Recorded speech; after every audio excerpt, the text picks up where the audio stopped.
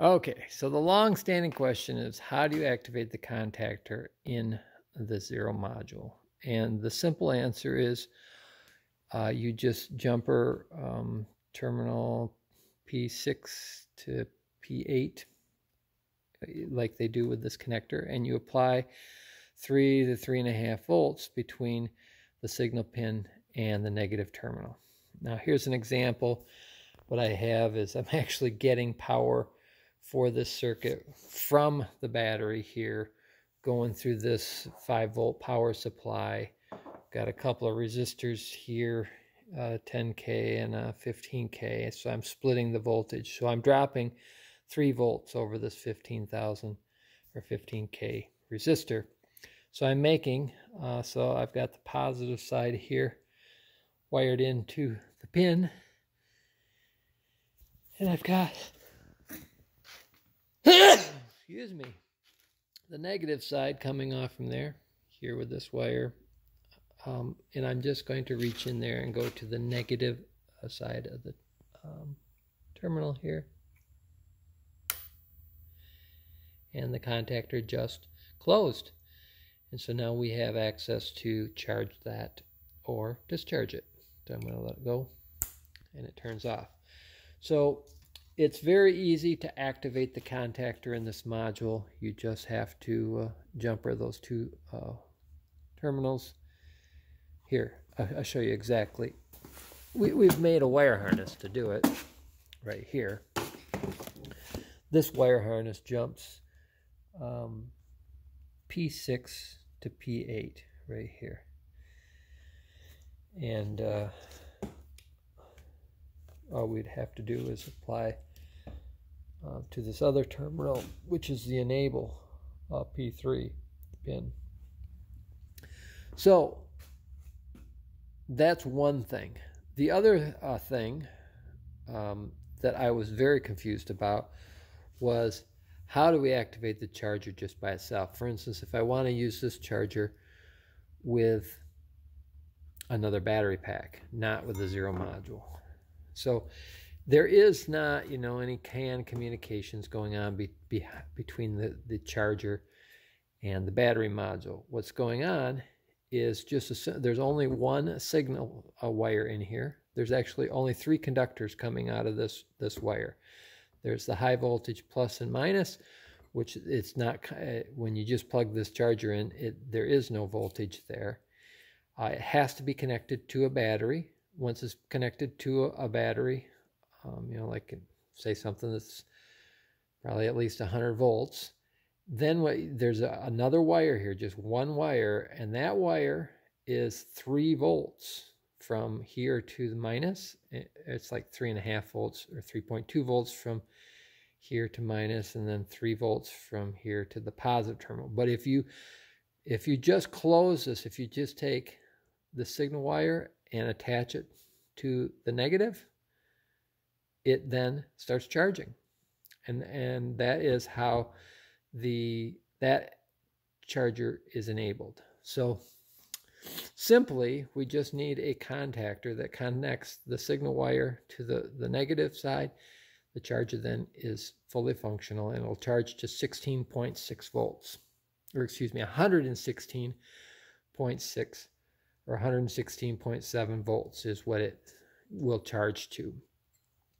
So obviously if you had it hooked up to some other battery and you don't want to charge that high, you just um, disconnect the, the enable signal at whatever voltage you want to stop charging at. So that's a simple contact closure to cause this to work.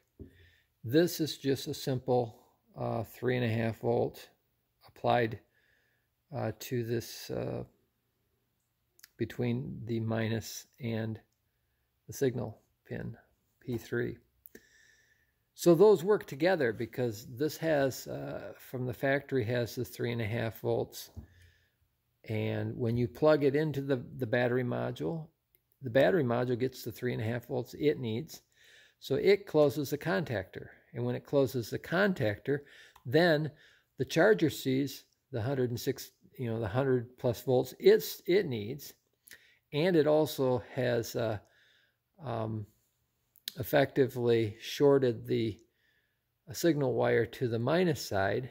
And so it has the two things it needs, high voltage plus the signal wire to the minus. So by plugging these the charger to the module, we get everything we need.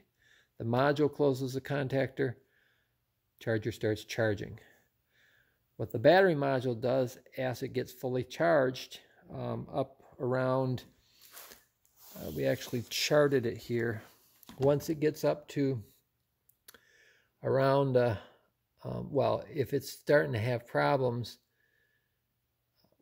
what it does is it turns the charger on and off, and that's how it tapers off the charge current. It's doing pulse width modulation. It's not actually varying the output of the charger, it's just turning the charger on for like eight seconds. What is it? Turn it on and then off here.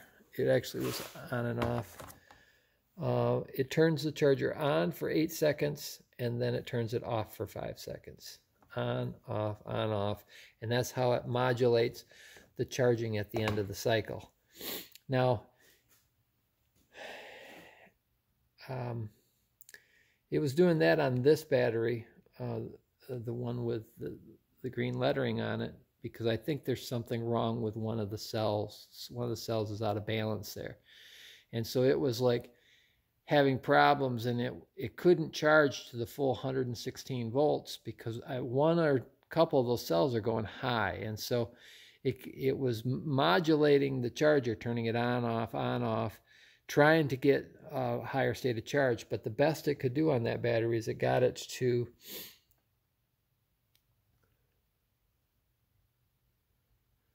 right here, it got it to 114 and a half volts and it, then it's just it just gave up. And uh, on the other one, it it uh, just continued charging. It kept everything probably all the cells were in balance, and it actually never modulated the battery. It allowed the battery charger to go to its full voltage, and as it got up, you can see this on the chart. It got up to just over 116 volts, like 116.6 volts and it was holding it there. And what was happening, well, the charger was outputting that voltage, but the amperage, and so the current, um, the watts going into this battery module, the one that doesn't have the green writing on it, was just going down, down, down over time. And um, so at the end, it was only drawing about 300 watts. And uh, so it's just barely you know, the battery is fully charged. All the cells were probably about in balance, and that equals 116.6 volts or 106. Yeah. So um, that's how a battery module would charge correctly to full full voltage. If you got a cell balance problem, which that one probably does, then the BMS is going to try and uh, modulate how, how much we're charging, trying to get those cells back in balance. Um, so we got to do some work on that one and find out what's wrong. So we got to read the cell logs on that one. So that's kind of where we're at. Uh, let's see. So we know that we don't need CAN bus to, to charge or discharge these batteries. We now know how to close the contacts. We don't have to use these mechanical things here to close, open and close those.